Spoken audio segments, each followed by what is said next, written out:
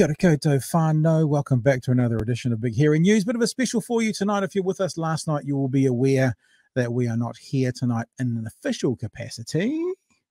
As uh, thanks to many generous people last Friday night when we had Byron C. Clark on, uh, many of you decided to uh, contribute to our super chat option and I promised that any super chats that came in would be getting spent on a catch up with Byron when we could, which we are probably doing right now as you are watching this. However, I've also uh, given asked you actually asked a lot of people who were here last night asked uh, of you if you would like to see in full a conversation that I had a couple of years ago with Professor Stephen Lewandowsky. Now I talk about Professor Stephen Lewandowsky's research a fair bit. I talk about motivated cognition. I talk about the um, the connection that he has made with climate change deniers and the free market. And when I talked to him a couple of years ago, it was really based around the fact that that was quite a hot button time for um, conspiracy theories around COVID. So even though a lot of his research is done in climate change, I thought it's pretty much directly comparable and transferable to climate change versus COVID stuff as well. Anyway, so I finally played a proper little clip from his uh, show last night, a five minute clip. And I said, Do you guys want to see that tonight? And I said, If you want to see that tonight, we're not going to be here live. I'll happily upload a show and play it out as live and you guys can watch along with it if you want. And huge number of people said yes please we'd like to see that and it's full. So that's what we're going to do. So uh, professor stephen lewandowsky is an australian psychologist. He has worked in both the us and australia and is currently based at the university of bristol. University of bristol is where i spoke to him except at the time i spoke to him i from memory i think he was in germany on a research trip but he was working at the University of Bristol when I spoke to him, but he was currently in Germany. Uh, he is the chair of the Cognitive Psychology of School of Psychological Science. His research, which originated, pertained to computer simulations of people's decision making process. Recently, has focused on the public understanding of science and why people often embrace beliefs that are sharply at odds with scientific evidence. So, why, when the science says, for example, uh, tobacco causes cancer, are there still some people who go, no, it doesn't? Specifically, when we were talking to uh, Professor Stephen Lewandowsky, it was about this climate change and conspiracy theories. So, this was the basis of the conversation you're about to see. In 2012, Lewandowsky put forward that uh, would later become one of the best known studies regarding public opinion on climate change. The survey examined data from more than 1,000 readers of climate science blogs taken from online questionnaires and posted there. Lewandowsky approached five climate skeptic blogs to ask them to post the questionnaire, but they all declined to do so. Hmm, interesting. Um, the study was accepted by the psychological uh, by Psychological Science on in 2012, and published in the May of 2013 issue of the journal, which was titled "NASA Faked the Moon Landing, Therefore Climate Science is a Hoax." Based on the survey of visitors to global warming related blogs, Lewandowsky and his two co authors concluded that belief in the free in free market economics was associated with being more likely to reject not only mainstream scientific view of global warming, but also the mainstream scientific view on whether HIV caused AIDS, whether tobacco caused lung cancer. And I guess you would now say, looking at the research around COVID and mask wearing and vaccines, that I imagine if it was done today, it would also point to those people as well. The study also concluded that believing in a cluster of conspiracy theories, such as the FBI was responsible for assassinating Martin Luther King, was associated with being more likely to reject the consensus view on global warming. So there was the reason that I spoke to Professor Lewandowsky, which is primarily around the COVID conspiracies. But as you will be aware, currently in New Zealand, there is some conversations going on again around climate change and what various National Party MPs might think about that. So it seems to me to be a perfect time to re up. This conversation is currently online, but I'm putting it on again. So it'll be on twice on my own page. Um, to re up this conversation, you guys said last night that you wanted to. So we are going to play it. Before we do play it, though, let me just say, uh, as always, a huge thanks to our patrons, uh, patreon.com forward slash big hairy news. If you want to be a part of what we do, if you want to help what we do, and uh, if you do, we would love you forever. And as Chewie always says, if you do, you will instantly become 22% more attractive. Uh, there are several layers or levels of um, support you can give us. It, it, really genuinely makes a difference. I know you can see our Patreon page. It might only say to you 400 bucks a month, but 400 bucks a month pays for internet. You know, I had to install a, a $600 card in my um, in my computer the other day to help the graphics. You know, patrons paid for that. It took a couple of months, but patrons paid for it. So literally and honestly, every five bucks makes a huge difference. We really genuinely appreciate you guys being on board. And if you are on board, a reminder that this Saturday at uh, 11 a.m. New Zealand time, there is a patrons catch up. Should you want to be involved, it's online. Your invite will already be in your inbox to join a Zoom meeting. If you're not a patron and you'd like to get involved and help out with what we do, then uh, you can sign up before uh, Friday midnight and you'll get a link to that meeting as well. And we might see you on Saturday morning. All right, team, that's it for now. Uh, thanks again for joining us on Friday night and helping us, uh, for want of a better word, bless uh, Byron with a night out tonight. Um, and thank you for being on board tonight to check out this replay of my conversation for my other podcast. So don't get confused that all the imagery is going to look different, but for my other podcast, when I was 50 kilos heavier, as an aside, and I didn't have the shelf on the back wall. So it looks, and I had a sponsor. Um, I, I, was sitting over here on the back wall. So you can ignore that because it's a vaping product and apparently that's bad to advertise now.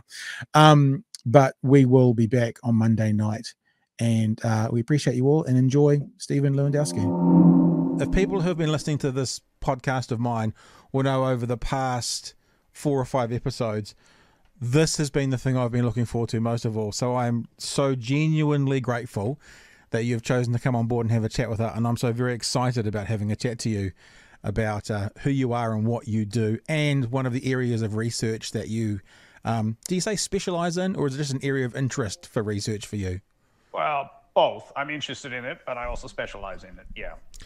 So, um, you are a psychologist, and I'm assuming that means the psychology department of Bristol. Is that that the department you're a professor in? Yeah, you're right about the department. I'm in the department of uh, psychology, or whatever it's called now. Um, in terms of training, I'm actually a cognitive scientist. I consider myself to be a cognitive scientist, not a psychologist. And the difference is that cognitive science is more interdisciplinary. And if you look at the kind of work I do, you know, you'll find that there's a lot of computer science in it. There's a lot of philosophy also in it. Occasionally, I've published in philosophy journals, for example. And um, so I don't just do psychology to understand how the mind works. I also do computer modeling and I think about the you know philosophical issues that are involved, which is actually very important in the context of uh, understanding science denial or why people reject science and why we can say that that is probably not such a good way to understand reality. So you've you've jumped straight into it to let people know this area of interest that we're talking about is I'm going to paraphrase it and then I'll probably butcher it, and then you can clean it all up. so, um, I read about you and found out about you, and the way I interpret as a uh, as a caveman, which is my area of speciality, um, what you do is your your area of interest and research is. I kind of look at it as twofold, and you can again correct me if I'm wrong or if I'm slightly skewed when people just won't believe the science, that's one of the areas you look into. But I think even more interestingly, as I read it, when someone has a belief or a um, they have a thought process that, that that believes something, and when they're presented with the scientific evidence that shows that they're wrong, and it's maybe the opposite view or a different view as the truth, they still they still choose to stick with the belief rather than go, oh, the the the science says this, so I need to change my beliefs. And one of the reasons I'm excited about this, and I, I said this to you before you go before we started, and people who watch and listen to me understand that I have a bit of an affinity with the flat earthers, and no matter what you show them, they hang on to their beliefs. But in this current climate, uh, especially with what's happening in America and and here in New Zealand and around the world, with people like uh, not taking on board the need to wear masks and what COVID really is. I just think this is the most pertinent conversation at the most pertinent yeah. time possibly we're ever going to have on this podcast. So there, I'm, I'm, uh, you can hear I'm excited. So have I got the, the, the research interest basically right? What do we need to tweak yes. to explain to people what you yeah, do? Yeah, no, spot on, spot on. So tell us. I mean, wh- why why does that happen? Why don't why do people, when given uh, unchallengeable scientific truths and proofs, still choose to stick with their beliefs? Well, first of all, I got to correct you on that one uh, because science doesn't offer proof; it Okay. offers evidence. Okay, okay, okay. And um, I think that's very important to to to be aware of that because, intriguingly, one of the interesting techniques of people who reject scientific evidence is to ask for proof. Um, they're, they're, that's one of their techniques is to say, well, can you prove to me that climate change exists? And the answer to that is, well, no, of course not. It's not a matter of proof. It's a matter of evidence. There is no proof outside of mathematics. So, um, and it's kind of important to get that right because otherwise, you know, when when a climate denier, quote unquote, says, "Oh, I want proof," then one, you know, you might be tempted to try and give it to them. Well, you can't, and that is where they're wrong to begin with, because by asking for for proof, they're already basically disqualifying themselves from a from a scientific debate. Because in science, the best you can do is to produce evidence and pile evidence on top of evidence on top of evidence. And then ultimately you get to the point where we we say that something is a fact um, such as climate change for example where the evidence is so overwhelming that uh, not accepting it is is just not a rational position to take um, now, when I say rational, I, I what I mean by that is rational in the very strict sense of how philosophers have worked out that we should consider evidence. Um, and so the question then is, as as you already asked, why do people not accept the evidence? What is it that makes them say, "Oh, no, no, no, I want proof," even though there is a pile of evidence uh, in front of their eyes? And the answer is that instead of engaging in this quote unquote rational evidence accumulation process, people resort to what we call motivated cognition. Now, motivated cognition is a very broad term, and it refers to the idea that people start out with a goal in their head of what they're trying to um, to conclude and they will then draw that conclusion. They'll be motivated to draw that conclusion no matter what the evidence says. Right. And now the question is okay, what makes people engage in motivated cognition? And that's where things get to be very interesting because there's a lot of ways in which that can happen. In the context of climate change, and indeed in, in most situations I've looked at, um, what triggers people's motivated cognition is the conflict between their personal worldview and the scientific evidence. So basically, it's ideology versus evidence. And that is why, um, when you look at climate denial around the world, it doesn't really matter where you go, although it's most pronounced in Australia, the UK, and the US. What you find is that what determines people's attitudes towards climate change uh, is their attitudes towards the free market. If they're libertarian or free market fundamentalists or conservatives who think that you know business should be laissez-faire, free enterprise, you know that cluster of attitudes. If people subscribe to that strongly, then chances are uh, that they will reject the evidence from climate change. I can ask people four or five questions about the free market and once I know their answers, my uncertainty about their climate change belief is is cut in half. Right. Which is incredible. Right. So Right. you can I mean- so you can you can you can probe them in a different area and say, well, because they've answered this here, you know, like a free, free market economy, they're likely to believe this here. Precisely. Wow. Precisely. And the association is incredibly strong. And if you think about it, that's not surprising because if you accept the scientific evidence about climate change, then we're going to have to do something uh, and, and change the way we do business. And that means we got to put a price on carbon. We might need taxes, regulations. There might be some, you know, uh, some industries like the coal industry, for example, you know, is going to go out of business. Uh, there's no question. Um, so there'll be a massive transformation of the economy in ways that are not compatible with with the sort of fundamentalist approach to free market economics. And so you have that conflict. And some people's identity is so tied up in their free market beliefs that they get incredibly challenged by the claims that the climate is changing, that we have to do something about it. And it becomes a, a very deep emotional response. And their way of defending their identity against that is, is by simply denying the science. They just say, well, you haven't proven it to me. you know, there's no proof. Hence, I can walk away from it. For example, there's lots of other ways in which they do it. But, but the motivating factor is ideology. Do you think that um, I, I, was going to say we're splitting hairs? I don't mean we're splitting hairs in a, in a, in a I'm not trying to undermine anything, but because you're coming from an academic um, position, the idea of evidence and proof, whereas for most of us laymen, when we say where's the proof, we're kind of saying where's the evidence, even though we might be using the wrong words. Do you know what I mean? Oh, totally. Yeah. Yes, and that's fine. And and you know, but but if you're asking me about proof, then yeah. I have to clarify that you know that's not really what it's about. I mean, proof is something that's inescapable for logical reasons. That's what a proof is.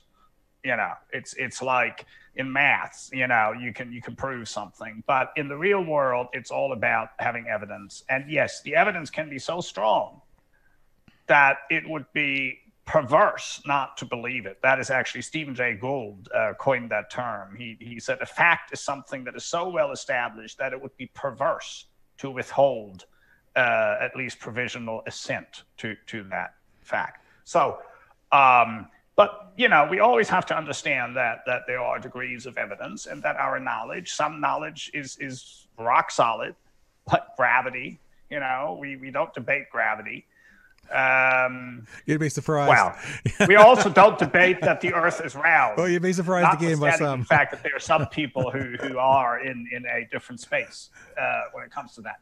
But you know, the point is that there's no scientific uncertainty about that, and actually, there's none about climate change either. We know it's happening, and we know that we're causing it, and it's not going to be all good.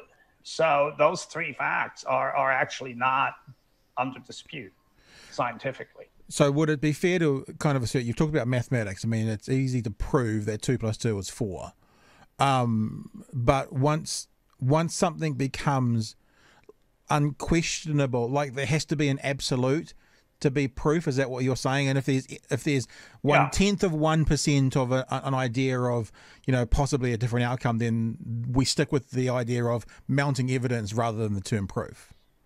Yeah, I mean, you know, the fact that the Earth is round is not a matter of proof. It's, it's, I mean, you know, it's a matter of evidence.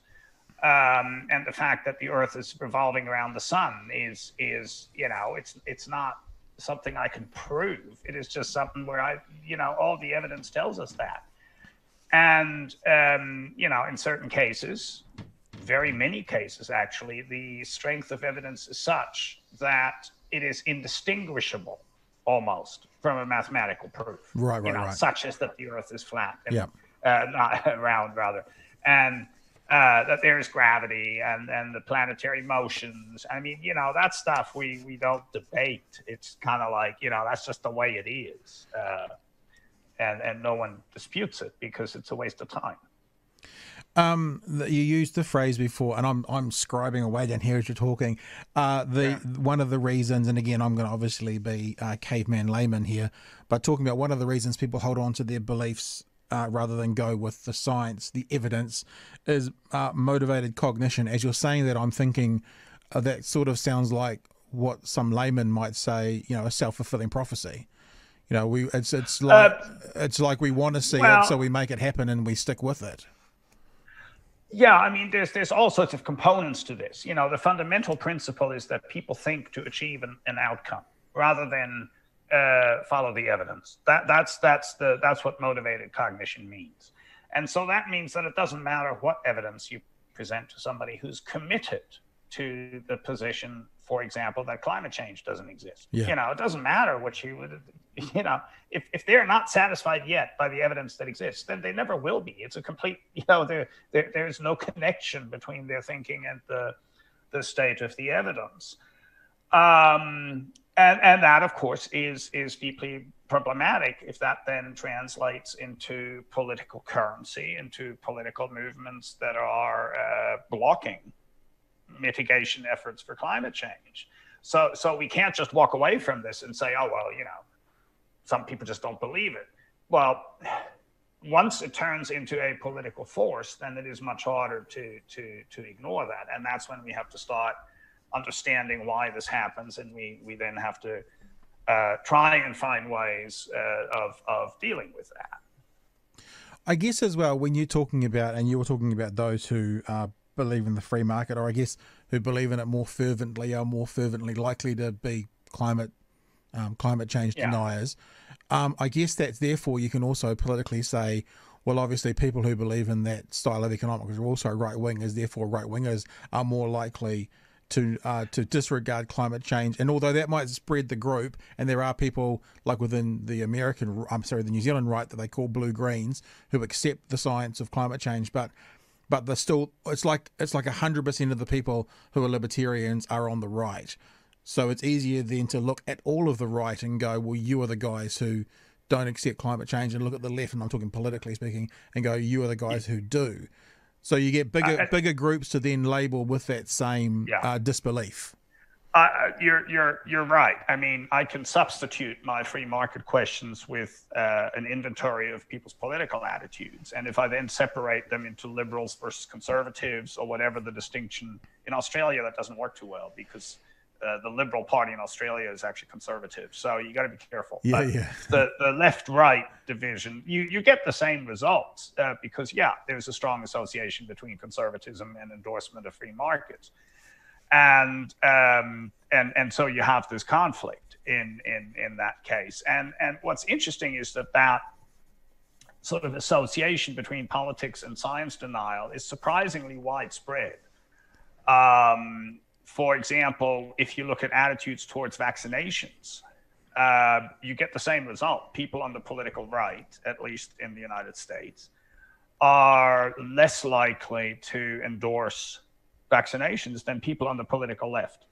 Um, and, and if you look at why that is, then you very quickly run into the same idea, namely libertarianism and the idea that the government shouldn't control what happens to my children, or that the government shouldn't tell me how to lead my life. And hence vaccinations are being rejected because they're seen as a an intrusion into uh, parental autonomy. Although, although in that one, I'm interested because obviously you've you've done the work. I think about the political spectrum maybe not being so much of a linear, but more, you know, yeah, yeah, like a horseshoe. Yeah, and I and I think of the people I know who reject vaccinations. I hear what you're saying about the, the, the, libertarian on the right, but also the far left, when people are like, I don't put aluminium in my body and these sorts of things. Yeah. It seems that for that particular, shall we call it a conspiracy theory or a position or opinion, that the far left and the far right can kind of hold mm. equal footing in that. Um, from the research yeah. that, that you've looked at or, or, what you've looked into, is well, is it an even spread or is it more still more on the far right than the far left? That's a very interesting question because I think anecdotally, you're absolutely right. And in fact, right now, um, when you look at COVID and you're looking at these demonstrations around the world against masks or against, God knows, you know, social distancing and all that, people who say COVID is a hoax. That that's a very eclectic, interesting mix of people yeah. who who uh, can be from the extreme left uh, as well as from the extreme right. Um, now, so so yes, the extremes might mingle up on on these occasions. But what's interesting is that in the data, when when I take you know a thousand Americans or or U.S. residents, and I look at their attitudes and I I try to find out how they uh, respond to scientific evidence. Then in in those samples, those representative large samples, those extreme left people just don't show up uh, because there are hardly any of them. So right. you, you don't sweep okay. up a lot of extreme leftists if you get a thousand representative Americans. You might get one or two, but you will sweep up about a hundred or so uh, extreme right wingers in in a representative sample in the U.S. of of a thousand. You know, I mean, there there is a very large uh, right wing tail in the United States, so they will be in my samples, uh, as they should be, because they actually are numerically greater, larger than the extreme left. Um, and, and, and that's why then, you know, everything is the, the result is that the right wing, the extreme right wing, is denying climate change and is reluctant about vaccinations. And God knows, you know, the link between tobacco and, and lung cancer, you know, there's a lot of scientific issues that I've looked at and other colleagues have looked at where the extreme right is less likely to endorse the science than people on the left. And, and yeah, sure, there may be some, a handful of extreme leftists who show up at the same demonstrations as, as the right wingers, but um, there, there aren't enough to actually show up in the data when you, when you do a systematic survey. So, um, so you have to be very careful about this is actually an interesting scientific point you have to be very careful about whether you go with the sort of anecdotes, the appearance of left wingers at demonstrations, or whether you go with uh, with the data. And especially in the context of vaccination, that's been very interesting because there was a time when very reputable journalists, in fact, a friend of mine, uh, uh, Chris Mooney, made claims uh, that vaccine denial was the climate denial of the left based on right. appearance, based right. on the fact that some of the spokespeople were sort of left wingish. Um, but it doesn't show up in the data. So, so you have to be very careful about not mistaking anecdotes, individual people who you can listen to or who you see at demonstrations, to mistake that for what is really happening in the population. Because the only way you can understand that is by sampling representative samples and look at what people uh, believe. I also I also think you you you are saying anecdotal. I mean, when I hear that, I think like a an individual's experience versus what the data or data says, so so to speak. Um, uh, there are unquestionably, I guess, those still those on the far left for the vaccine one in oh, particular. Sure. But I also wonder if it's still a mindset of why they fight against that. And I wonder if the libertarians on the right fight against it, as you're saying, like, you know, keep the government out of my parenting position, small government, you know, I'm not going to do what you tell me to, especially in the American system. Whereas those on the far left are more about, um, from their perspective, I, I know, and this is just me saying from people I know in that thing, it's more about them and their own health and what they do want to do to their own body. So it seems like maybe the right, when they fight against that one, would be more an institutional a battle, whereas the far left about that particular one, they're more doing it from an uh, ironically individual liberties kind of position, uh, perhaps. Quite, um, quite, quite possibly. Yeah, yes, quite possibly. Um, the other thing we have to talk about, if we talk about science denial, is conspiracy theories, mm-hmm. because um, you know you scratch the surface a little. Uh, when you talk to somebody who, who is rejecting well-established scientific facts, and and you'll find a conspiracy theorist sooner or later. You know, I mean, I can almost promise you that. You you, you just, you know, spend a few minutes, kind of ask a few questions, and ultimately you get to the conspiracy very quickly. Um, and and that is is important to understand because um, dealing with people who believe in conspiracy theories is is challenging because by definition. Uh, a conspiracy theory is a self sealing edifice. In other words, a conspiracy theory is designed to, to turn any contrary evidence into evidence for the theory, as well as the absence of evidence, uh, turning that into evidence for the conspiracy theory. So by the time you get to your conspiracy theory, you, you got a you got a completely closed bubble, sort of like a, a Mr. Beanish uh, epistemic bubble where, where there's only one person inside or one theory and everything else finds no admission.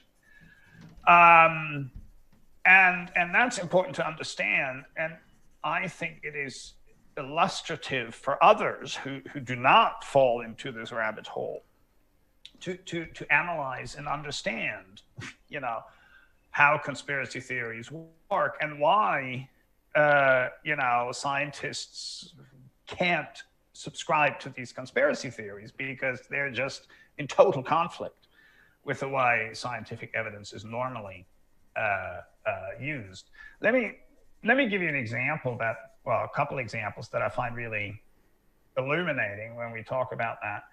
Um, the first one is the the turning the absence of evidence into evidence for a conspiracy theory. Sure. There was a case recently, well, a few months ago, this year, in the context of COVID, where some person on YouTube made the claim that you know this this virus is a Chinese biological weapon and uh, it was uh, created by some lab in in Wuhan and that the the that famous epidemiologist Fauci in the United States you may have heard of him mm-hmm. he's all over the news yeah. he's, he's sort of the, the godfather of epidemiology in the United States oh Fauci had had connection to that lab and, and he sent millions of taxpayer dollars to that lab to develop this virus.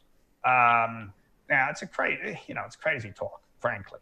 You know, we shouldn't waste any time on that. Except what's very interesting in this case is that the person was asked to provide evidence for that. You know, well, where's the evidence that Fauci has done this? He doesn't have access to money. How, how would he do that? And the answer was, well, there is no evidence that's the whole point. The right. cover up is so good mm-hmm. that they're hiding their traces and there is no evidence. Now, now that's a remarkable uh, uh, thought process if you think about it, because that's saying I have a hypothesis that is zero, that has zero support and evidence. Therefore, it must be true. Well, the the other thing you sometimes you sometimes hear, and actually, uh, shockingly, I heard this. I, I, I watch a lot of American politics. I heard this from uh, either a congressperson or a senator in the last month or so. That uh, that runs along uh, alongside what you've just explained is when people say, "Well, where's the evidence for that?" and they say, "Well, where's the evidence it didn't happen?" You know, they, they that's the other line that often conspiracy theorists will take. Um, I had a conversation with my lovely flat Earth friends the other day, and I explained how if if the ice wall around the outside of the world is Antarctica, yet Antarctica's in daylight for 24 hours a day for three months of the year, then the whole world, whole flat disk would be in daylight because that's how light travels, and tens of thousands of people witness this every year because there are tours to Antarctica. And straight away, the answer well, the first answer was uh, that doesn't happen, and the second answer was yeah, but have they been into space and seen the moon? I mean, seen the seen the globe for themselves. So it was a there was first a massive change, and like we'll, we'll leave that point that you've just made aside because I can't argue. We'll, we'll, change the sure. point to something else, but then it's also sure. often there's no evidence it hasn't happened or it doesn't happen. And you know as as i guess most people will be aware of it's very difficult yeah. to prove prove a negative. Yeah.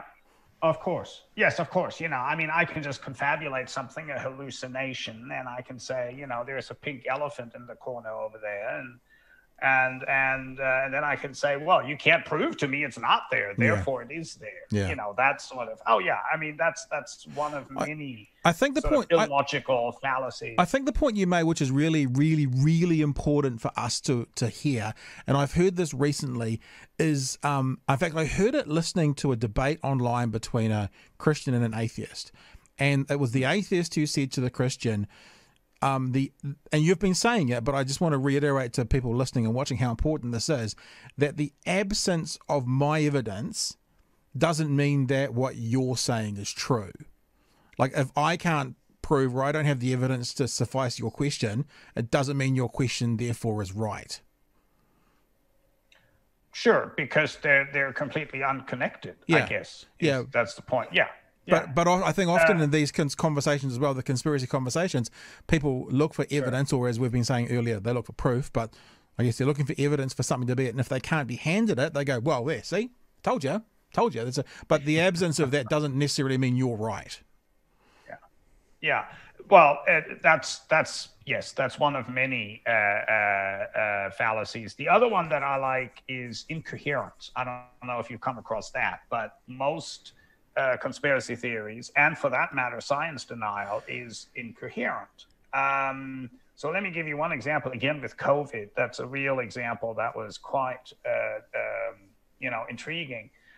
Again on YouTube, some uh, some video making claims about uh, COVID, and the same person initially said, "Well, actually, COVID has been with us since we were children."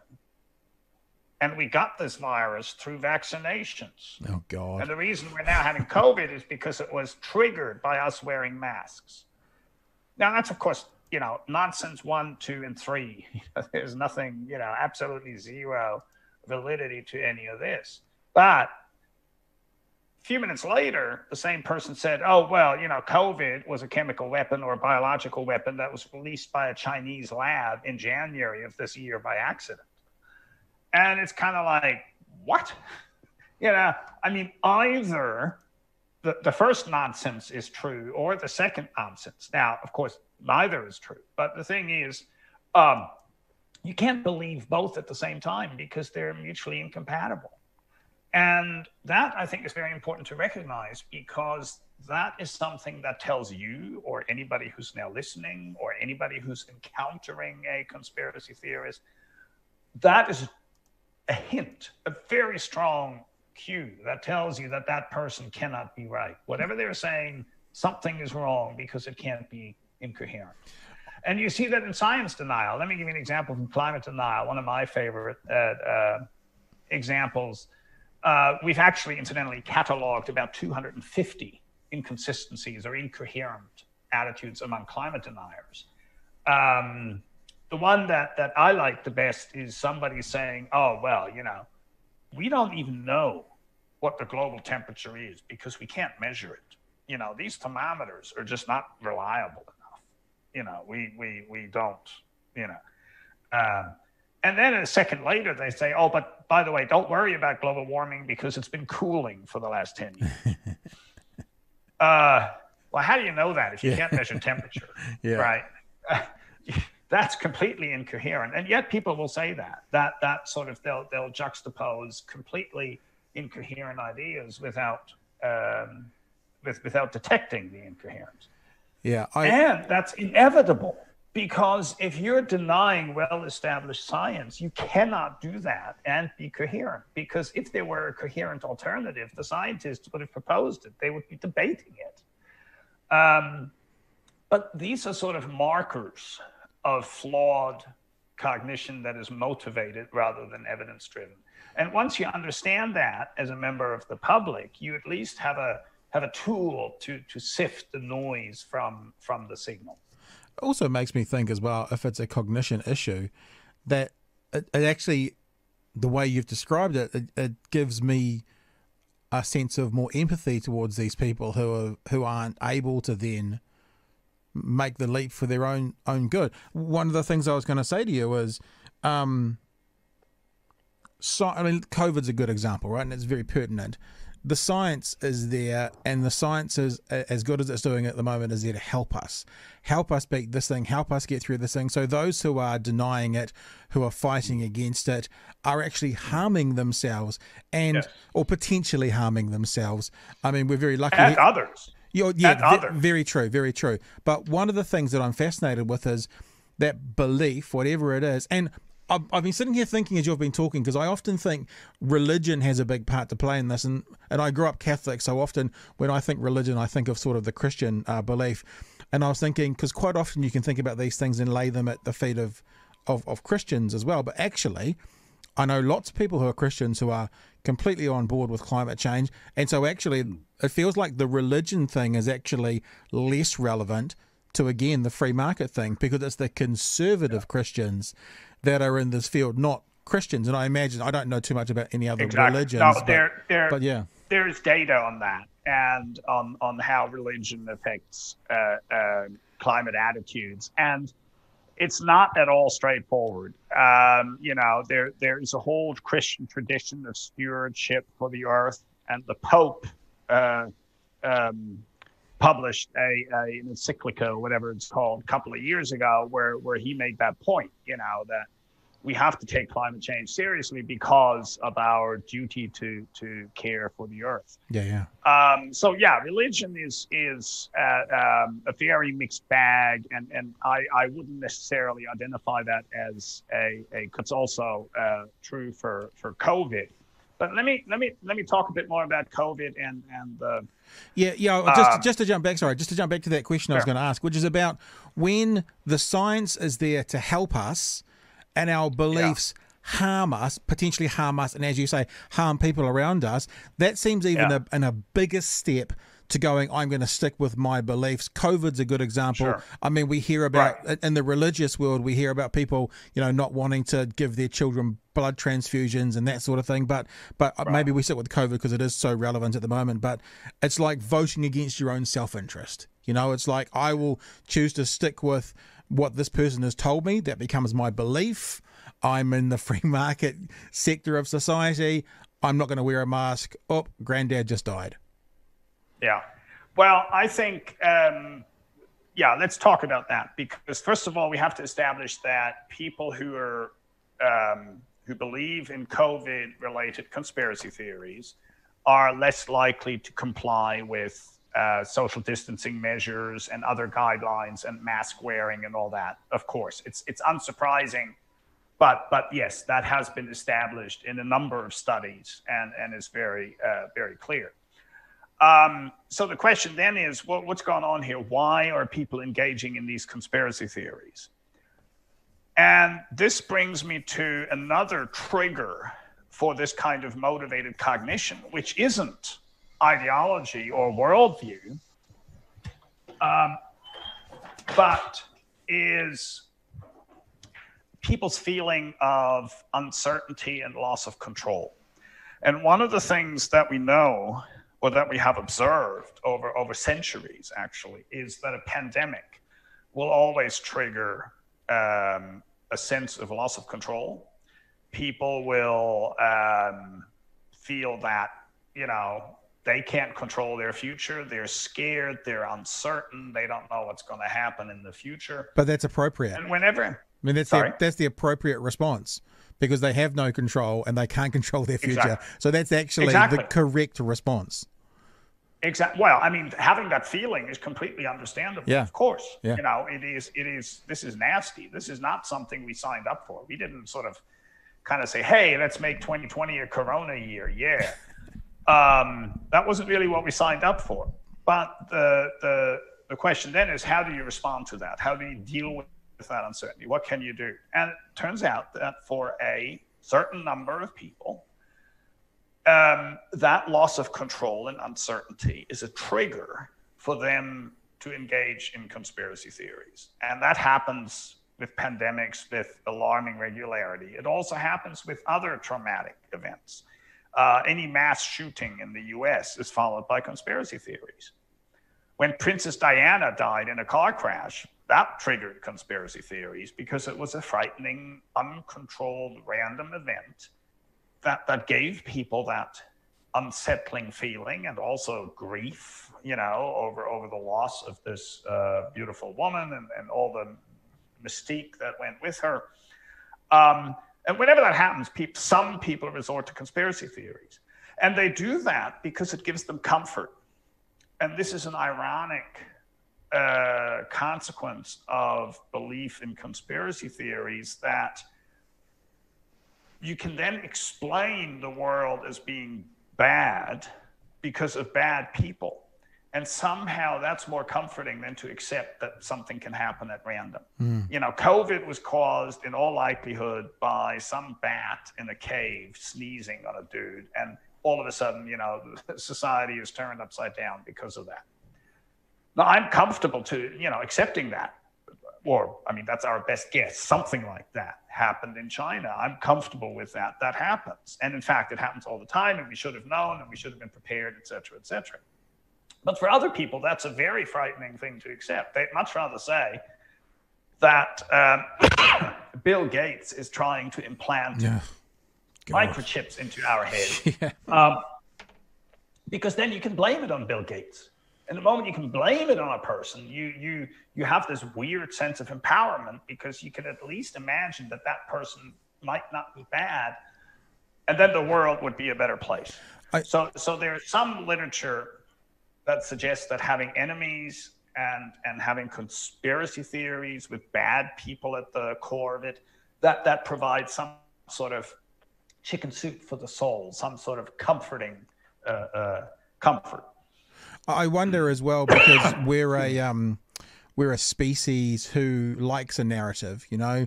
We have our art, we have our storytelling. You know, we we we like a movie that wraps up well at the end. So therefore, when we come to that moment in our lives where it is uncontrollable and unknowable, we fill it with a story, and that story is the conspiracy theory. In other words, we need something to explain the yeah. situation as to what's going on. It's uncontrollable and unexplainable. So it's like I'm watching a, a, a program on uh, Netflix at the moment called The Curse of Oak Island. And it's these guys looking for uh, treasure and all these stories about this treasure that could be buried on Oak Island. And, and I noticed very clearly everything they find and everything they see points towards the treasure. Now, if you didn't know there was treasure there, it would just be a rock or it would just be a, a spent cartridge from the 1800s because obviously there was people living there. But they find stuff, and when they find it, they're like, "Well, this is really interesting," and this points towards the story being true. They, so because they have that that mindset you talked about before, the motivated cognition, they're looking for what they know now and what they find from there on in to point back to them finding this treasure on this island. Similar sort of thing, I think. Mm. Mm, yeah, I don't know that show, but it sounds sounds like it's fun. I mean, you know, to be honest, uh, talking about this does have some entertainment value. I mean, it's not like that that this is completely boring. Um, how and and that, in fact, to be honest, is is almost the problem because I think quite a few people out there are looking at the stuff and these various conspiracy theories and they, they get a chuckle out of it and then they forward it to their friends and say ha ha ha look over here um, the problem with that is that that that makes it more visible, and yeah. the more visible you make these conspiracy theories, the more likely it is that people get entrapped in them, and that they they sort of say, "Oh, you know, that could be right," and then, you know, you you get into this community, into this cult, which is really what it is. You know, the psychology of cults and the psychology of conspiracy theorists is is quite can be quite similar uh, uh, for, for the hardcore committed um, conspiracy theorists.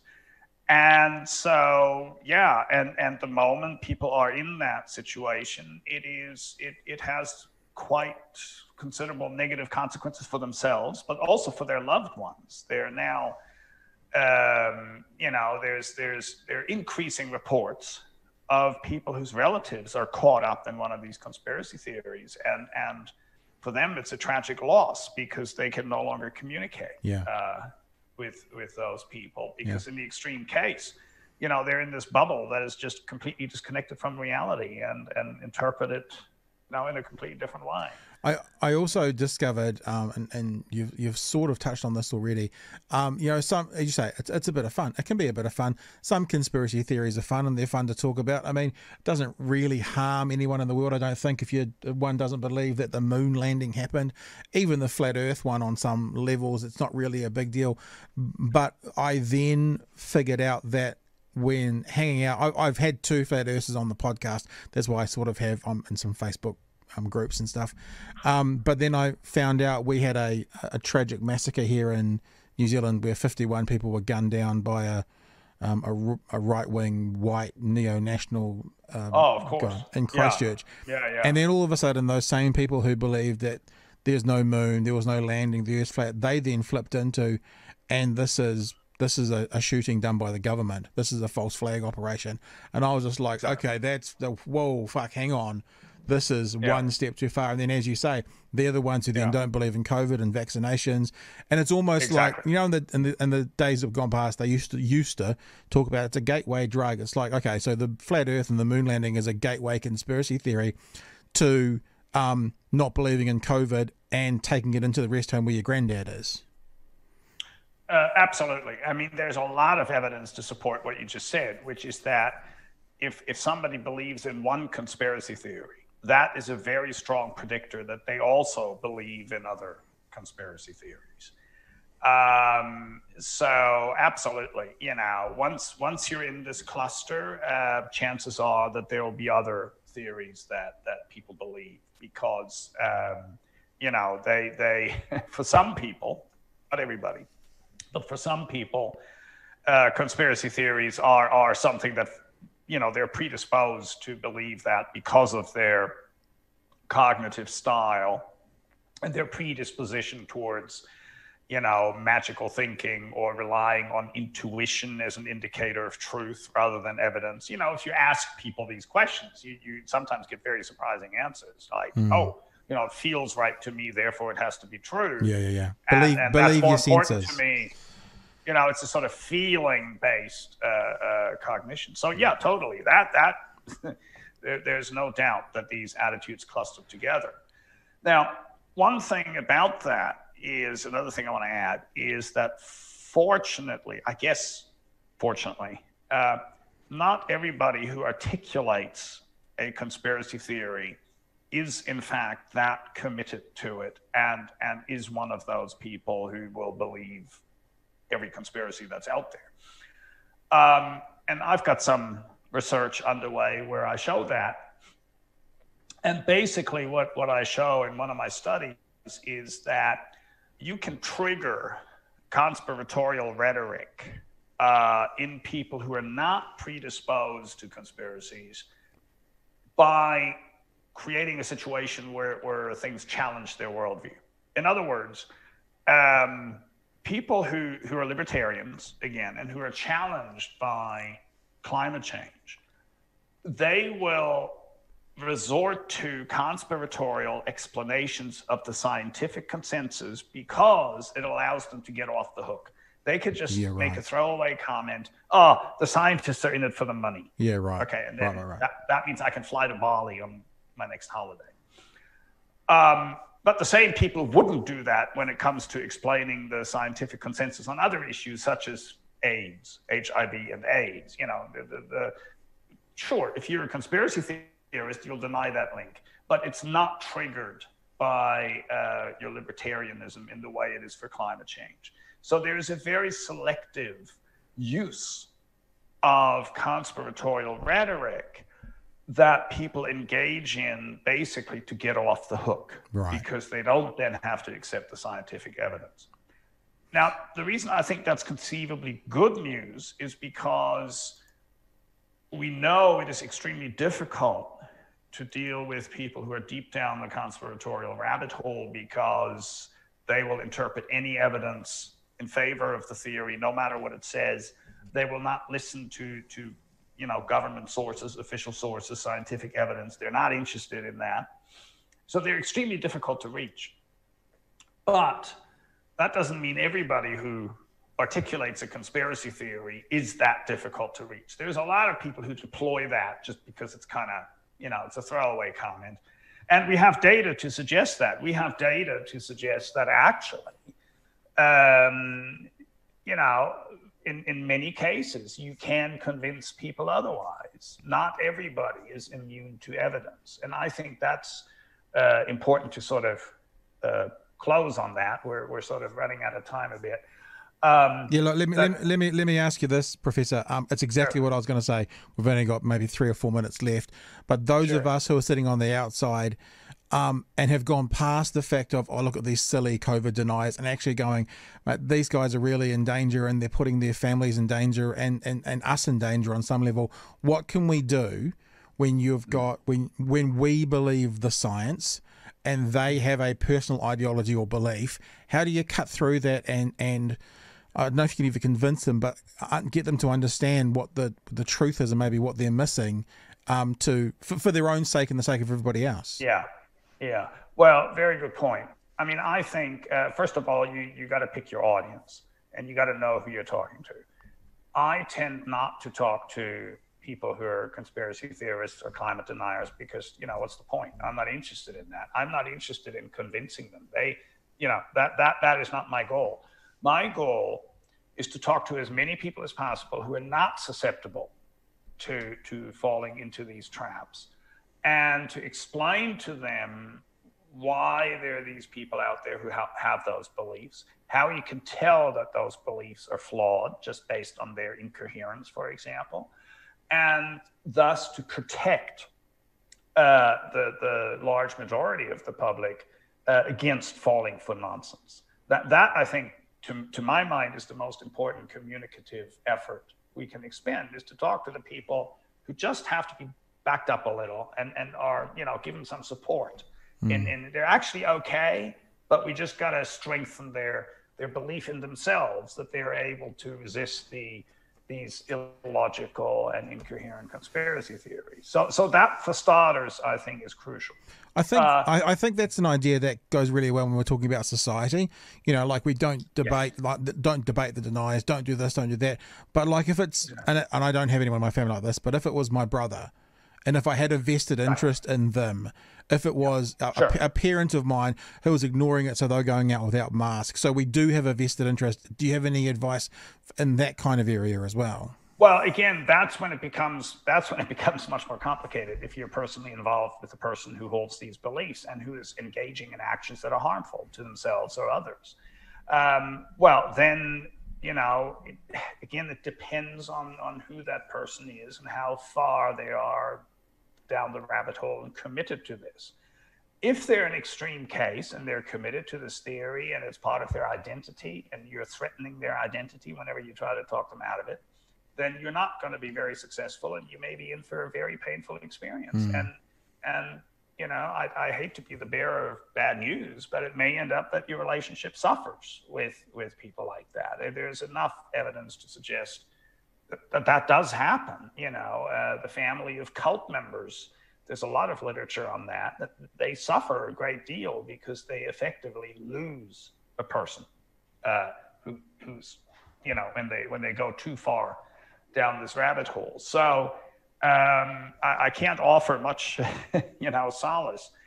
However, there there is a gray zone in between before people become so extremely committed. Where uh, what the research suggests is that that you can still have a conversation with these people, and and uh, you know the literature on on de-radicalization of extremists and terrorists suggests that it's a long-term process. You got to build a rapport. You got to show empathy. You got to be, uh, you know, sympathetic to the fact that they, you know, gee, that's interesting. You're holding these beliefs. Hey, you know, why don't we both go on a journey of discovery and look at the evidence right. together? You know, that sort of approach um, is is known to be more successful than uh, confrontation. So walking with um, rather than confronting at the you know confront. Walking yeah, I mean, a total kind of like with. you're an idiot, and how could anybody believe that? And you know, you know that doesn't people don't like to be told that. It's kind of weird, you know. It's kind of funny that they don't respond well to that. And, but by the same token, you also can't agree with them. So you have to find a way to negotiate this territory and to say, yeah. well, you know, I respect that people can come to different beliefs, but you know, why don't we go on this journey of discovery together? And and uh, um, then over time, if you can invest the time there there is an opportunity for success, but it's not going to be easy. All right. Unfortunately, I, I think uh, so. It sounds like what you're saying is some people are beyond that approach, and the best idea is to get to people before they get to a get so tribal that in their beliefs. Think because we get so Indeed. tribal in our beliefs that we're never going to let them go, no matter what. And I, as I said a couple of times, basically me having fun with some flat earthers. I've seen that, and actually, if I now think about if that person was a family member and it was we were talking about vaccines, that would be a much scarier proposition. So, yeah, getting them before they're down that final final rabbit hole and walking alongside them rather than confronting them uh, as an idiot. I think that's the best. That's the best we can do. Hey, Professor Stephen Lewandowsky, okay. uh, thank you so much for joining us today. It's been a real pleasure. Um, I've thank enjoyed you. it immensely, and hopefully for people out there, this has been somewhat useful. Um, all the way from Berlin, thank you for joining us. I guess we say Auf Wiedersehen, don't we? Okay, yeah, or tschüss. That's the colloquial. Ciao. Bye. All right, team, that's us. Hope you enjoyed that. We will be back Monday night. If you're a patron, I am recording this Thursday afternoon. If you're a patron, there is a chance that I'm going to upload a video of a conversation with Byron that I'm planning to have tonight onto the patrons only page. Uh, so thank you for being a patron. And um, yeah, Byron, Byron C. Clark, you know, you know what I'm talking about, um, to do with conspiracies. It, it, fits in quite beautifully, actually. And I'm if I if I've managed to do that recording, which I'm planning on doing, then I will upload it to the patrons only. So you patrons might get a special little uh, nugget on Friday which is a chat that I'm planning on having with Byron tonight in the car as I'm dropping him home. That's the plan. Will it happen? Well, we shall see. Um, so if you are a patron, thanks for being on board. You are one of the reasons we're able to do this. It takes a little bit of pressure off some other things that we have to do and pay some bills. Every five bucks makes a huge difference. Uh, so thank you for being involved. If you like what we do, if you enjoy the content that BHN puts out, then the way you can be involved to help us out is to get on to patreon.com forward slash big hairy news. And if you are a patron, reminder there is a Saturday morning meetup. If you're not yet a patron and you can't become a patron before Saturday morning, then you'll get the link as well to come and join us for an online catch up Saturday morning, 11 a.m. New Zealand time. All right, team, I hope you enjoyed that podcast. It's a, a, looking back on it now, it seems more relevant as ever today than it was two years ago when I said it's more relevant than ever. So hopefully you enjoyed that, and we will catch you for a regular broadcast of Big Hairy News on Monday night from 9 p.m. Until then, stay safe through the week weekend. Uh, thank you for being involved, and we